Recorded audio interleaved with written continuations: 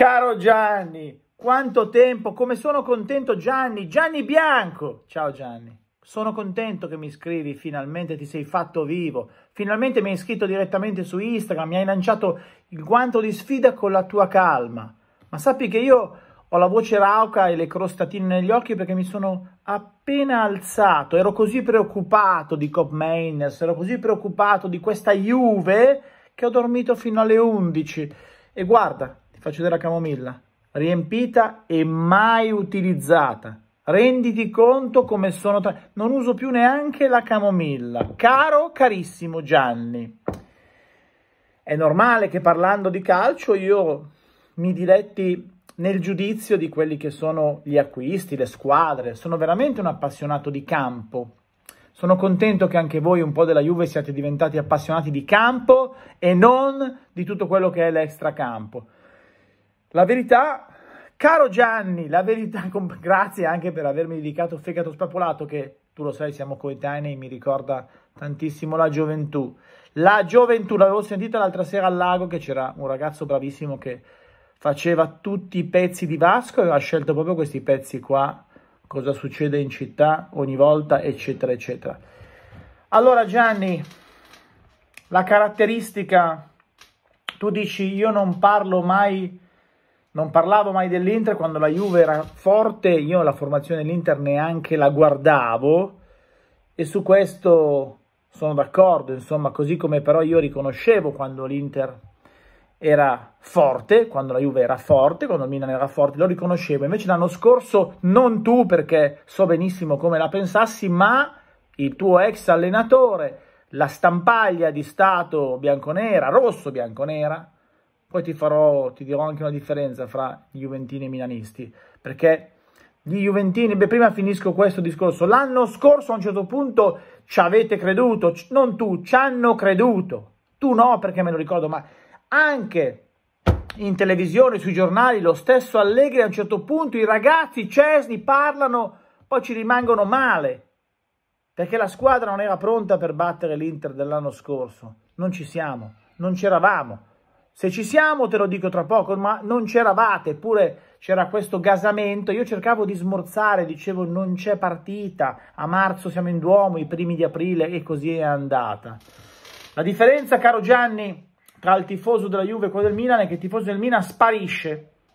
Tu lo sai, io sono uno dei pochissimi milanesi doc della zona del centro e quindi ti posso assicurare che dagli anni funesti della loro delle loro Serie B e dei loro anni bui, loro scompaiono. Non li senti, non esistono. E questo per me è un complimento da fare ai tifosi del Milan. Non ci sono. Poi oggi con i social non ci sono due volte.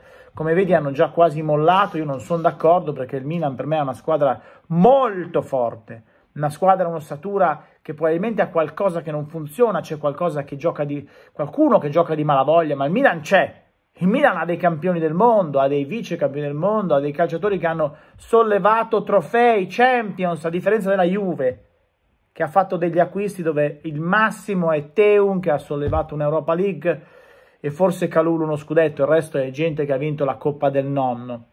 Però i milanisti non parlano e li senti poco. Mentre non puoi dirmi che io parli di voi, perché voi parlate sempre. Voi parlate sempre di noi, parlate sempre. Se non ci fosse l'Inter, lo Juventino non avrebbe argomenti al di là della sua squadra.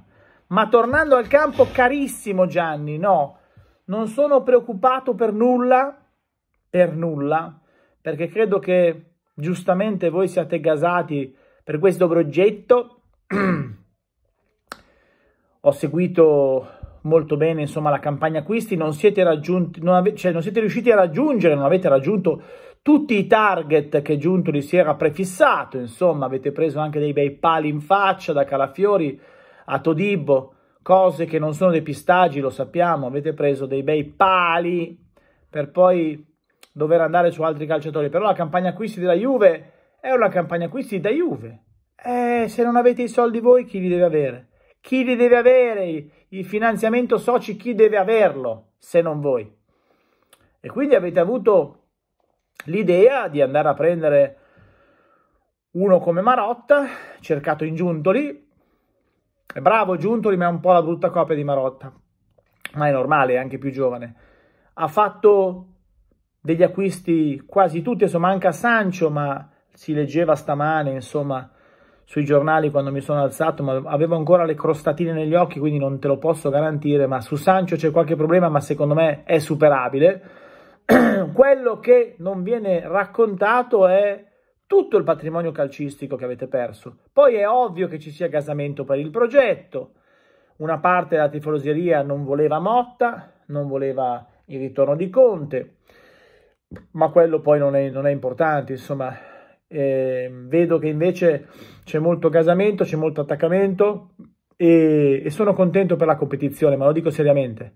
Sono contento anche che il Napoli abbia preso appunto Antonio Conte e dei calciatori incluso l'infamone Lukaku, così vediamo che cosa sapranno fare. E ripeto, il Milan non è per niente fuori dai giochi, forse ha sbagliato allenatore.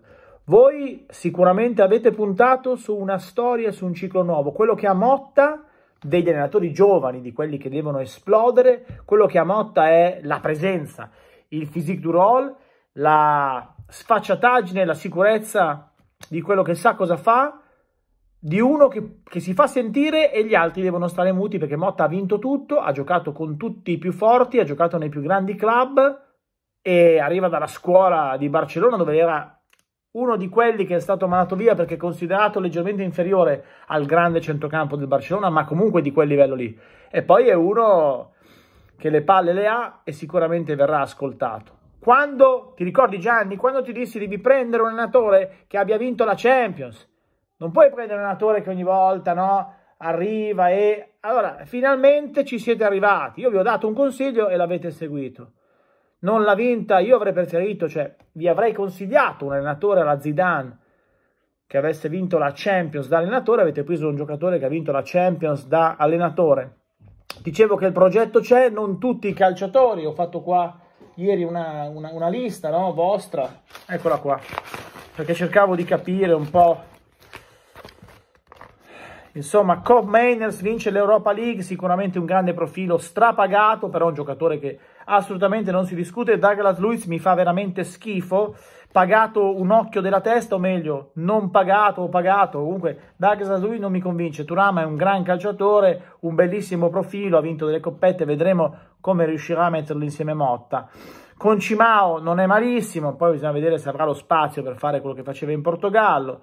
Nico non mi sembra nulla di eccezionale, se Corea non avesse le sue menate sarebbe più forte di Nico, è stato più forte, lo dice la storia in Argentina, lo dice la sua storia, però Nico è un discreto attaccante, un discreto panchinaro. E Calulu mi piace, eh, rimarrai sorpreso, ma Calulu è uno che ha gamba, non è sempre concentrato sulla partita, ma Calulu è un calciatore che se è motivato e se ha compagni di reparto buoni, Calulu può fare la differenza. Cabale è un calciatore mh, mm, mediocre, insomma da noi veniva a fare la panchina e rimane un calciatore mediocre e, e, Di Gregorio è cresciuto da noi, ne conosciamo le potenzialità, ma Cesni era di un altro pianeta. Per il resto ti dico, carissimo Gianni, che davanti vi manca qualcosa. Perché Vlaovic eh, finalmente si gaserà, anche perché sennò avete buttato nel cesso i famosi 70 e passa milioni. Ildiz non è ancora pronto, ma tu sai che io lo stimo molto. per il resto, Milik non ha più le ginocchia, ma qualcosa può dare sicuramente l'esperienza. E vedremo, vedremo con che formula giocherà. Poi non contano i ruoli, conta, conta come Motta riuscirà a mettere insieme la squadra. Quindi sono contento che tu abbia lanciato questo guanto di sfida. Ti ricordo, ma se vuoi ne parliamo insieme, possiamo fare una live che a oggi difficile trovare per i giocatori della Juve un posto nella formazione dell'11 titolare dell'Inter. Cioè forse giocherebbe Bremer al posto di Acerbi, sì Acerbi non è quello della finale di Champions, se no gioca Acerbi, eh? Perché poi conta anche l'esperienza. E non, non scambierei mai Sommer con Di Gregorio, non lo so, Bastoni e Pavar sono indiscutibilmente più forti di qualsiasi giocatore nella vostra difesa. Qualcuno mi dice che Cambiaso giocherebbe nell'Inter. Con questo, con questo Darmian nell'Inter non gioca neanche non giocherebbe neanche Pendolino Cafù, va bene? Perché ci sono, probabilmente, sai, col crescere, col passare degli anni può crescere, ma Cambiaso non è, vabbè, comunque, io credo che la sfida sarà, e sarà, sarà bella, importante, ma Motta avrà tanto, tanto lavoro. Poi ci sarà la Champions, i viaggi, le aspettative, gli scivoloni. Comunque ci vediamo presto a San Siro perché Inter Juve, insomma, tra un mese e mezzo sarà di scena, no? Forse un po' di più. So che l'Inter incontrerà da domani Atalanta, Milan, Napoli Juve tutte in casa da qui agli inizi di novembre. Quindi, caro Gianni, io non la uso, se vuoi te la spedisco, sono tranquillissimo e convinto che sarà un bellissimo campionato finalmente. Non piango, vedi, non ho problemi a dire non abbiamo soldi, ma non piango. Abbiamo una dirigenza che prende calciatori di valore a zero, abbiamo un'ossatura importante, noi non abbiamo venduto nessuno, voi avete tolto parecchi elementi importanti, il campo giudicherà, vediamo se arriverà anche Sancho, ecco Sancho se va alla Juve è un grandissimo calciatore, l'anno scorso ha fatto 3 gol, 3 assist, però Sancho è un calciatore proprio nato per giocare a calcio. E Sancho se va alla Juve forse, forse in rapporto qualità, prezzo e esperienza sarà il colpo migliore. Va bene caro Gianni, a presto e mi raccomando, mi raccomando, fatti sentire, eh? non che poi mi sparisce la prima sconfitta.